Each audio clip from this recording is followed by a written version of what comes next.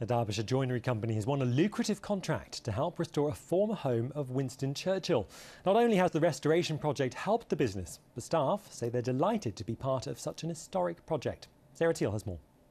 Business has never been brisker at Gowercroft Joinery at Alfreton in Derbyshire. Staff are working flat out producing bespoke windows for a grand Grade 2 listed property.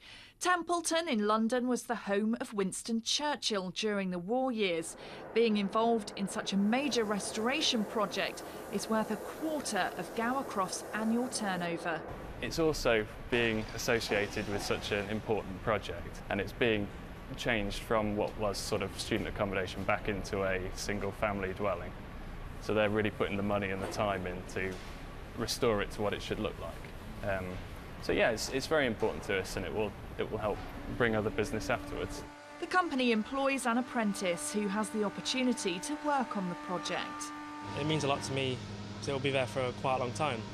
and people will be going to view him and knowing I've made him, it's a real honour to do it. Yeah. We all want to feel like what we're doing at work is important, and I think we're, you know, we're restoring a historic building that's going to be there for generations to come. Sarah Teal, BBC East Midlands Today, Alfreton.